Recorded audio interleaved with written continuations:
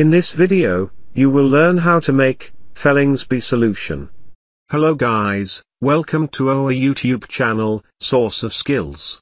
Please like and subscribe for more informative videos. First of all, take a weight balance and power it on. Now, put a petri dish on it. Don't forget to tare it down. Now, add sodium hydroxide into the petri dish with the help of a spatula. Weight precisely up to 2 grams.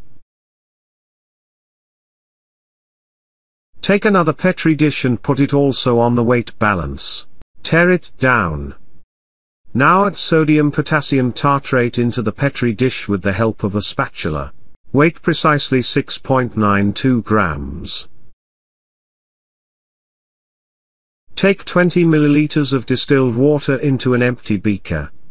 Add measured sodium hydroxide into the distilled water. Mix it with the help of spatula. Now add measured sodium potassium tartrate into the beaker. Mix it also with the spatula. Make sure to make it homogeneous. We have successfully prepared Fehling's B solution. You can store it in a storage bottle. Thanks for watching this video.